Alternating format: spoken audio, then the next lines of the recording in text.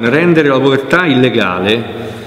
che è l'anima della campagna Miseria Ladra promossa dal gruppo Abele con il sostegno di Libera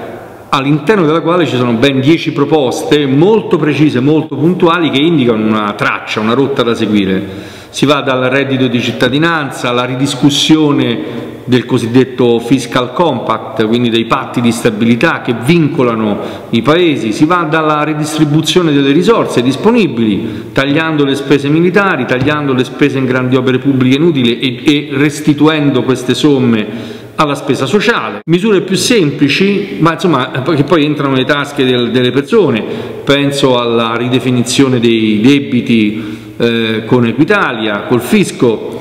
E perché no anche nelle imprese il pagamento, questa ormai è diventata proposta di tutti, insomma degli arretrati da parte della pubblica amministrazione, quindi un mix di misure che però hanno un obiettivo davanti, che è quello di lavorare per aggredire le disuguaglianze sociali.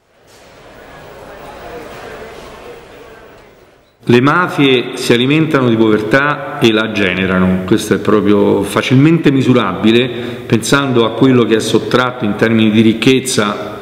nelle regioni in cui le mafie sono più presenti, ci sono ricerche fatte dalla Banca d'Italia che lo hanno definito questo gap mafioso sulla ricchezza prodotta con alcuni punti percentuali di PIL. Le stime sono tante, certo se le metti insieme i 60 miliardi di euro della corruzione, i 130 miliardi stimati di fatturato delle mafie, ehm, l'evasione fiscale, l'ecomafia, il giro del, dell'abusivismo edilizio, e ha stimato in oltre 500 miliardi di euro il volume complessivo dell'Italia illegale, dell'Italia criminale. Queste risorse sono sia risorse sottratte, pensa a quella della corruzione, in particolare alla spesa pubblica, o appunto l'infiltrazione nella gestione della, ad esempio del ciclo dei rifiuti, sia risorse criminali che vengono immesse nel mercato e che alterano profondamente l'economia. Chiudono le imprese, chiudono i negozi, chiudono le attività commerciali che non ce la fanno per la crisi economica, ma basta vedere gli ultimi sequestri fatti ad esempio a Roma di attività commerciali,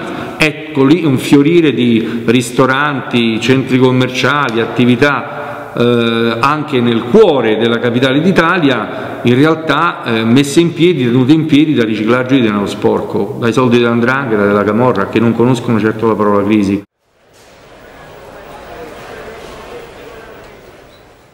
La Libera non a caso ha lanciato due campagne, la prima è dedicata ai beni immobili confiscati, che sono oltre 11.000, si chiama Liberal Welfare, cioè l'utilizzo dei beni immobili confiscati le, eh, come strumento di inclusione sociale.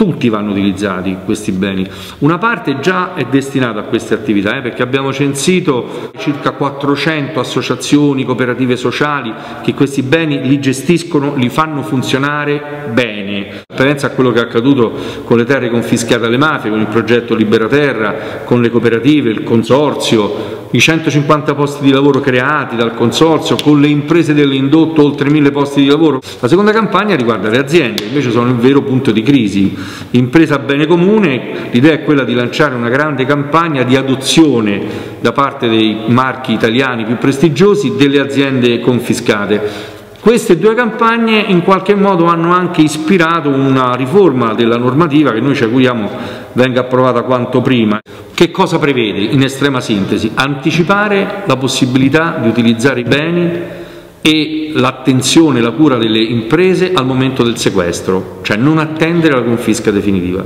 perché troppo spesso, per il tempo che passa, questi beni e queste imprese soprattutto, quando arrivano a confisca, sono deteriorati o destinati a chiudere. Secondo, garantire l'accesso al credito per le imprese sequestrate, perché la prima cosa che accade, curiosamente, è la chiusura delle linee di credito da parte delle banche, cioè le banche tengono aperte le linee di credito dai mafiosi e le chiudono le aziende sequestrate, garantire l'accesso al credito per le imprese e per chi gestisce beni immobili, tutelare i diritti di chi ci lavora e infine trasformare l'Agenzia Nazionale per i Beni Confiscati in una sorta di agenzia per lo sviluppo sostenibile, mettiamola così, cioè un'agenzia che utilizza questi beni, che sono beni comuni, beni pubblici, per farne appunto occasione di lavoro e di crescita.